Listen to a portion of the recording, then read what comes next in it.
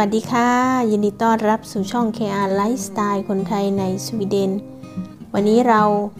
ขอแนะนำไม้ประดับใบสวยโตไวปลูกง่าย ดูแลไม่ยากที่ชื่อว่า Alocasia Zebrina หรือ Alocasia ม้าลาย สถานที่ถ่ายทำเราก็ถ่ายที่สวนเล็กๆ ในประเทศสวีเดนนะคะ คลิปวิดีโอนี้เราเคย ออกไปเมื่อ 2 เดือนกว่านะคะ แล้วตอนนี้เราไปอัปเดตไปเช็ค ที่สวนปรากฏว่าไม่มีแล้วค่ะ Alocasia ม้าลาย ขายไปหมดแล้วค่ะ ก็เป็นที่นิยมมากๆค่ะ เขามีอยู่ประมาณ 3 หรือ 4 กระถางนี่แหละค่ะ Alocasia หรือหรือหลายๆ คนก็เรียกว่าบอลกระดาษนะคะ ก็เป็น พืชที่มีถิ่นกำเนิดในประเทศเขตร้อนค่ะ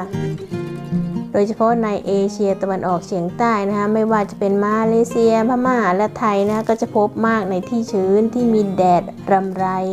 ใกล้แหล่งน้ำนะคะอโลคาเซียก็จะมีเง่าใต้ดินค่ะ ก็มีใบแคบทรงไข่แกมรูปหัวใจอย่างที่เห็นนี่เลยค่ะ เขียวเข้มสวยงามมากค่ะ ก็ดูคล้ายๆหอกนะคะ ปลายแหลมโคนเว้าลึก แผ่นใบเรียบเป็นมัน ขอบใบมีทั้งแบบเรียบและหยักเป็นคลื่นขึ้นอยู่กับสายพันธุ์ด้วยนะคะสำหรับสายพันธุ์ของม้าลายก็จะเป็นมันเงาเลยค่ะ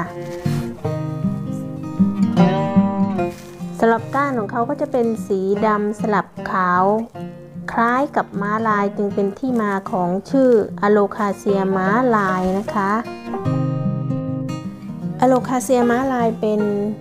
พืชที่ไว้ประดับบ้านค่ะ แถมยังช่วยดูดซับความชื้น ฟอกอากาศได้เป็นอย่างดี วัสดุดินที่ใช้ก็เป็น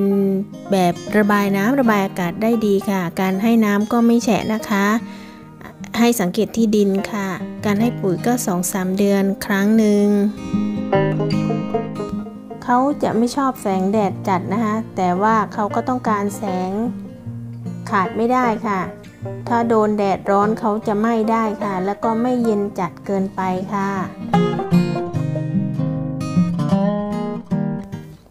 ก้านใบนี้เป็นจุดเด่นของอะโลคาเซียที่ชื่อว่าม้าลายหรือว่า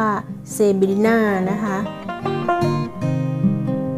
ก็เป็นจุดเด่นที่เหมือนกับลายของม้าลายนะคะ ราคาก็ค่อนข้างสูงทีเดียวค่ะกอขนาดนี้ก็หลายพันบาทเลยค่ะ ที่เราเช็คในเว็บไซต์ในเมืองไทยนะคะ สำหรับที่สวีเดนก็อยู่ที่พันกว่าบาทค่ะ แต่ตอนนี้ไม่มีแล้วค่ะหมดแล้วอโลคาเซียม้าลายก็เป็นต้นไม้ที่มีเอกลักษณ์ สวยงาม และหายากมาก ๆ ในเวลานี้นะคะสำหรับวันนี้ขอขอบคุณทุกท่านที่เข้ามารับชม ขอบคุณทุกคอมเมนต์ทุกการติดตาม แล้วพบกันในวิดีโอต่อไปนะคะ สวัสดีค่ะ